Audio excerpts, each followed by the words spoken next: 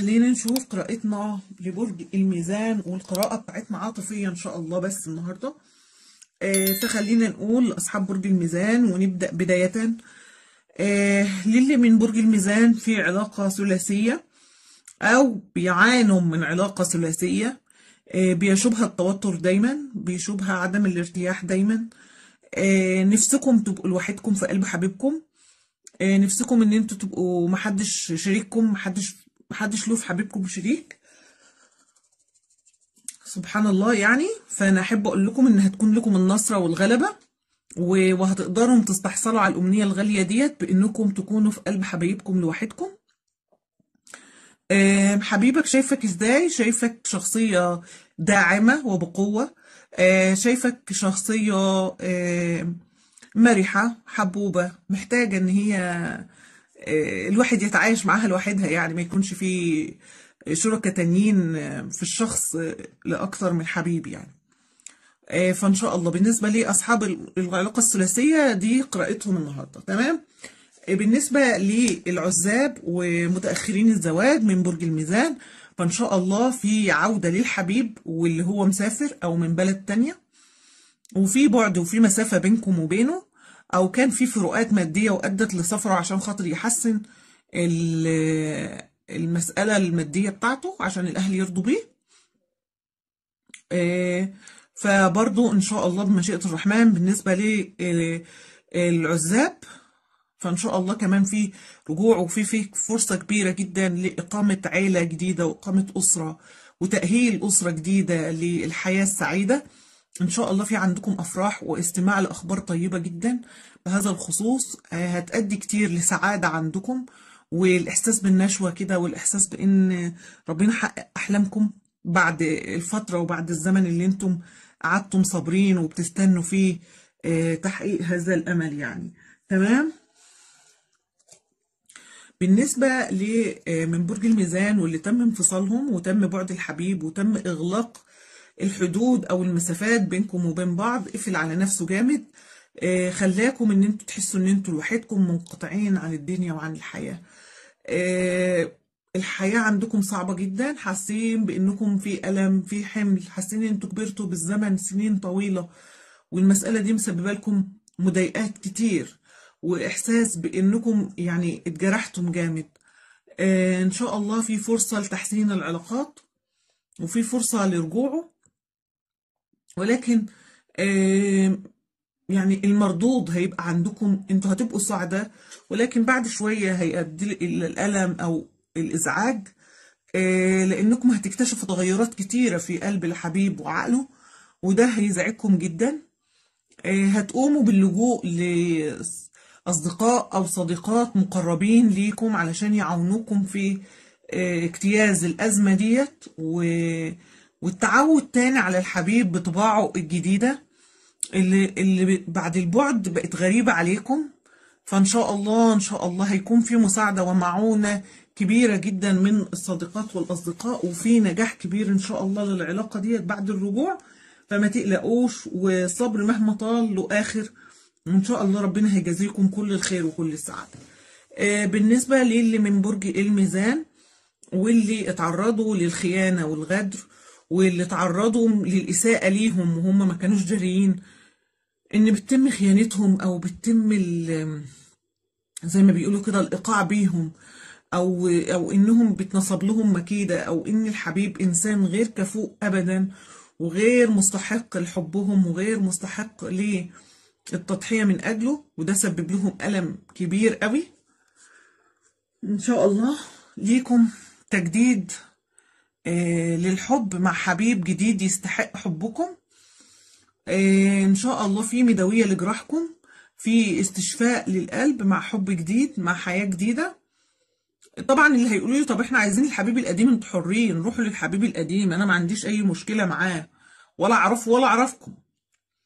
آه، عشان بس بيجي لي كومنتات غريبة غريبة يعني بجد. آه، فطبعا عايزين نقول إن هيكون في حياة جديدة وبناء جديد وهيكون مثمر وهيكون سعيد عليكم آه، في الحب بالشكل دوت.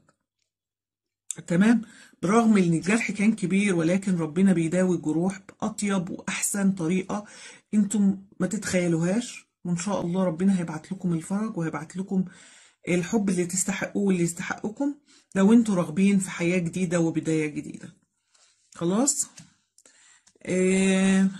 برضو آه قراءة أو يعني نوعية برضو أو عدد من أعضاء برج الميزان واللي عانوا معاناة شديدة وأدت للانفصال في الآخر بسبب تدخل الأهل سواء من الطرف الزوج أو من طرف الزوجة.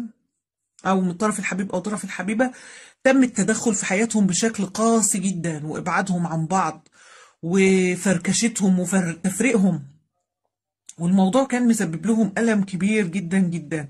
وقد كده هم كانوا بيتمنوا السعادة وكانوا بيرضوا بقليلهم وكانوا عايزين أقل حاجة علشان يقدروا يعيشوا مع الحبيب وكانوا هيعيشوا. ولكن بتدخل هذه الأطراف الخارجية أطراف رجالية ونسائية من نفس المكان فأدوا إلى الفراق والبعد والفرقة. أنا شايفة لهم إن شاء الله إن شاء الله يا رب بعد لهذه الأطراف ورحيل ليها وإنها مش هتفضل معاهم أبدا وإن ربنا هيؤدي إلى الفرح والسعد اللي هيشوفوه في دنيتهم وربنا هيبعت لهم اللي يكمل فرحتهم وهيرجع لم الشمل وجو الأسرة. وفي بعد جديد للأشخاص اللي كانوا متسببين في الانفصال أو اللي متسببين في الكراهية والبعد بالنسبة للأحباب. فإن شاء الله ليكم رجوع وإصلاح. وخلينا مع بعض في كل حالة من حالات برج الميزان. الحالة بدايتها تشخيصها حلها ومصيرها. محدش يشوف كل على إنه له وممكن برضو يكون الكل يمثل شخص واحد. ولكن علشان ما يحصلش بعد كده تضارب ويتقال أي حاجة كل كل حالة وليها قراءتها عشان هي قراءة عاطفية فقط. فهي متعددة لأصحاب البرج بنجيب القلب من كل الاتجاهات لجميع أصحاب البرج. خلينا نقول في بقى نوعية تانية أو عدد من أفراد برج الميزان تم الإيقاع بيهم وبعدهم وانفصالهم عن حبايبهم بسبب الكلام واللوكلوك. وناس اتدخلت وناس بلغت كلام غلط وناس دخلت وفشكلت الدنيا وناس حاولت إن هي تبوظ العلاقة بينكم وبين بعض. لحد ما تم الانفصال والبعد وبعد تام للحبيب اللي اتسلل من الحياة من غير ما يتكلم من غير ما يقول حصل ولا وصل ولا جالني كلام. لأ هو بالعكس جرى ومشى من غير ما يسأل ولا يستفسر ولا يستوضح الأمر. فجأة بدأ بالاختفاء تدريجيا وبعدين فجأة هوب ما انتوش لقيتوه. نتيجة كلام ناس ونتيجة مكايد ووقائع وحاجات وحشة كتير حصلت. حسيته بالألم والغديرة والغدر والخيانة والخديعة. إزاي إن أنا الساب؟ إزاي إن أنت تسابي؟ بس الحياة كانت صعبة جدا. الموقف ده وجعكم جدا جدا جدا. طيب آه اكمالا له طبعا أنا بسحب من الورق زي ما أنتم شايفين أهو. بصوا الورق أهو زي ما اتفرنت لبرج الميزان. أنا بسحب منه الورقة اللي بتكمل قراءتي وأنا بقول.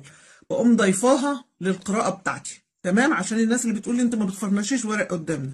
أنا ما بعملش أي حاجة من من وراكم وما بغشش. تمام؟ خلينا نقول دول هيبقى إيه؟ طبعا عدالة وكرمة شديدة اللهجة زي ما بيقولوا.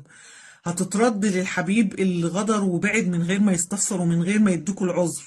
ولا يسألكم حصل ولا ما حصلش. فطبعا الكرمة هتاخد حقها وزي ما اتعمل فيكم هيتعمل فيه. آه وهيكون في عدالة تامة ليكم إن شاء الله واسترجاع لحقوقكم كاملة إن شاء الله. وطبعا هيرجع لكم وهيستندم. وانتوا في اللحظة دي اللي هتقدروا تقولوا عايزينه أو لأ. طبعا لو أنا هيبقى لأ أو مليون لأ. بس أنتم محدش يقدر يسيطر عليكم ولا حد يقدر يملى عليكم تصرفاتكم. آه خلينا نقول حالة أخيرة من حالات برج الميزان وهي الحالة الأخيرة اللي هي تأخر الزواج. تأخر الزواج بسبب الأهل جزء منه أنانية وجزء منه حب. آه جزء منه أنانية إن الأهل كانوا رافضين إن إنتوا تتجوزوا وإنكم تبعدوا عنهم علشان خاطر هم محتاجينكم. والجزء التاني حب إن هم خايفين يفرطوا فيكم فتروحوا لحد يأذيكم أو يعمل فيكم أي حاجة تضركم فهم يكونوا زعلانين وحزانة فحبوا إن هم يخلوكم جنبهم أو يضيعوا عليكم فرص كتيرة للزواج والاستقرار.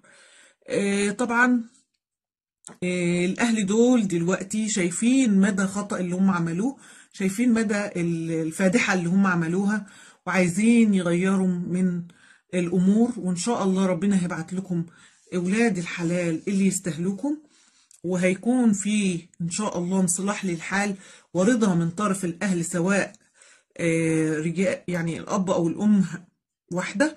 وإن شاء الله هيتم زواج وخطبة قريب جدا وهيكون في سعادة كبيرة ليكم. وزي ما بيقولوا كل لكل اللي بيصبر بينول واللي, واللي يعني سكته صبر آخرها جبر جبر للخاطر وجبر للحال. أسفة إن أنا طولت بس خلينا بس نجيب آخر ورقتين واللي آخر ورقتين لبرج الميزان بيقولوا إن إن شاء الله خلينا نقول ككل البرج الميزان في إن شاء الله رجوع الحبيب من الماضي علاقة طيبة علاقة صول ميت علاقة توأم روح علاقة جميلة جدا هتكتمل قريب جدا. وهيكون فيها طاقة إيجابية كبيرة ليكم. أهم حاجة يكون عندكم ثقة في الأشخاص اللي أنتم هترتبطوا بيهم. وحاولوا أن أنتم تتكلموا معاهم وأن يكون في رحابة صدر واتساع للأفق والعقل. وإن شاء الله هتكون علاقتكم كلها ناجحة يا برج الميزان. زي ما إحنا شفنا القراءتين الأخيرتين من ورق الرومانس تورت أو أوراق الرومانسية واللي بتكمل قراءتنا العاطفية بترد علينا وبتقول لنا إن شاء الله اللي جاي خير يا برج الميزان.